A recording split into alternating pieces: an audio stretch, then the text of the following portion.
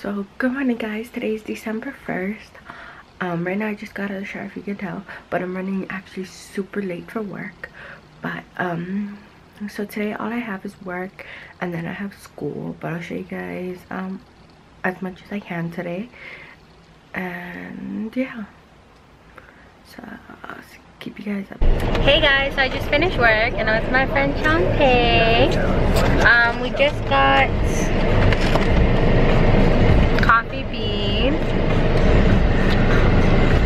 and yeah so now i'm going to school. I'll talk to you guys and i'll show you guys what i can do. Hey guys sorry i haven't updated you guys in a while. So i'm at home now. Um i finished school.